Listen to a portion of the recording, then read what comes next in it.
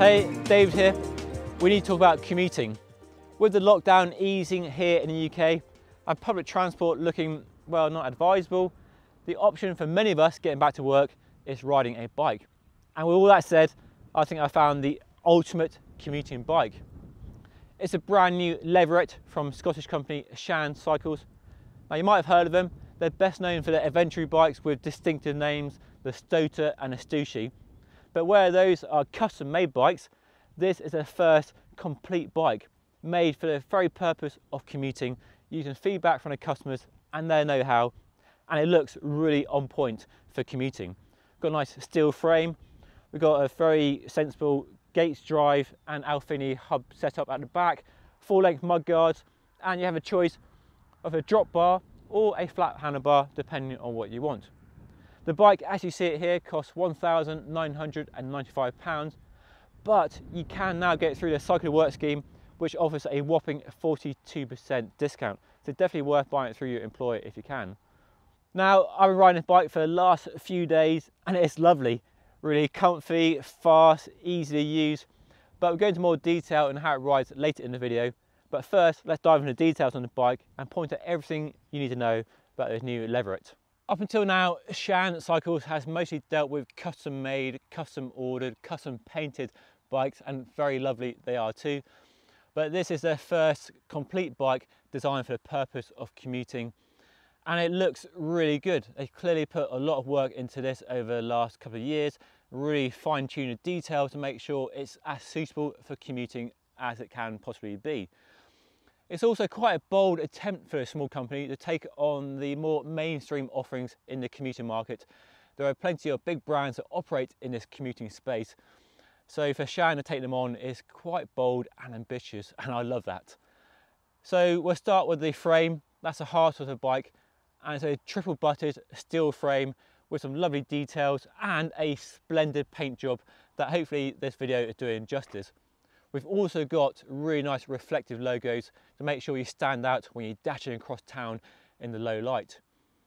As you can see, it's got mudguards fitted using the mudguard mounts on the frame and the fork. And you can also fit a rear rack if you want to use panniers for lugging around extra stuff, laptops and shoes when you're going back and forth to work. All the cables are internally routed so they're out of the mud and grime and it just looks really clean and modern. You've got two bottle cage bosses on the inside of the frame. Up front, we've got a nice beefy carbon fibre fork to give nice handling responses through the city traffic and to lower the weight of the overall bike as well. And plenty of tyre clearance for these tyres that are fitted on this bike.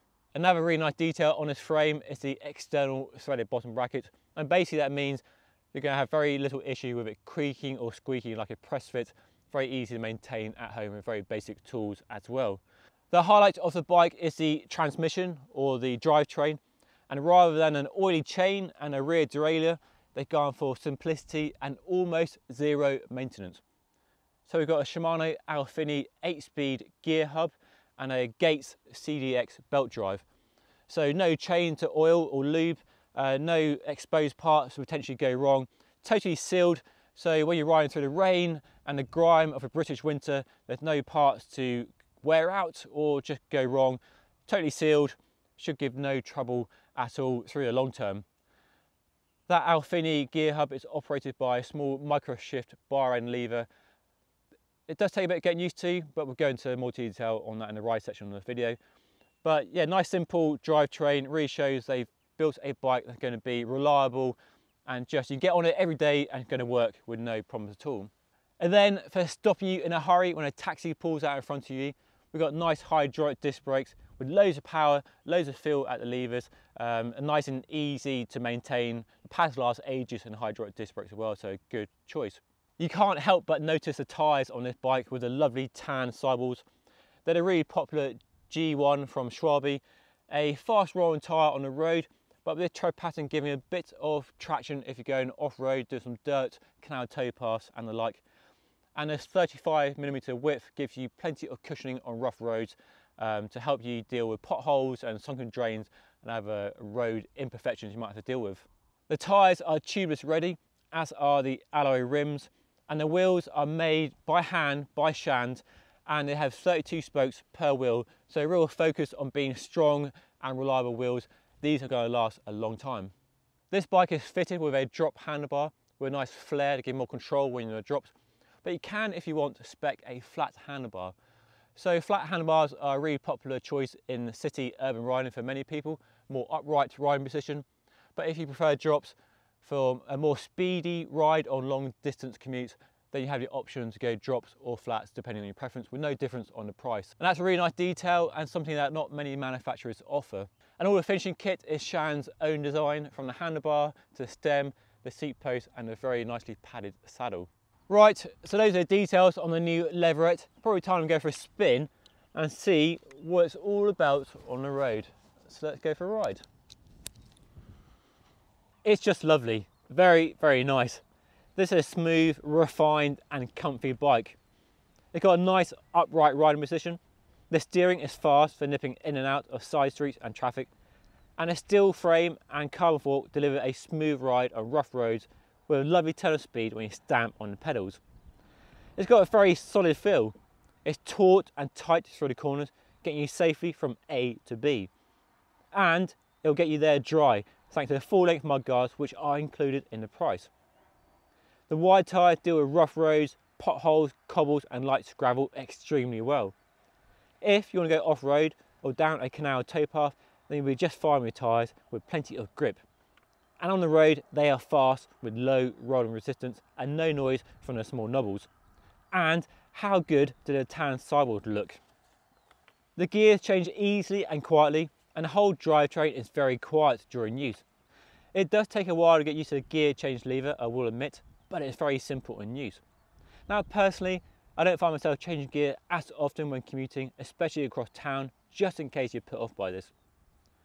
When it comes to hills and descents, the Alfine 8-speed provides plenty of range for spinning you up the climbs and blasting you down the other side. And because there's no oily chain, you're not going to get your clothes messy when you arrive at the office. With these mudguards, you can easily ride on wet and muddy roads and not get a muddy stripe up your back. While the Leveret is pitched as a commuter bike and it's really good for commuting, it's also really happy for long weekend rides too, because underneath that commuting pitch is a really refined long distance comfy road bike. I've been doing some longer rides at the weekend, doing my local countryside routes taking in the views and stopping for coffee and cake on the way home and it's perfect for this relaxed long distance style of riding.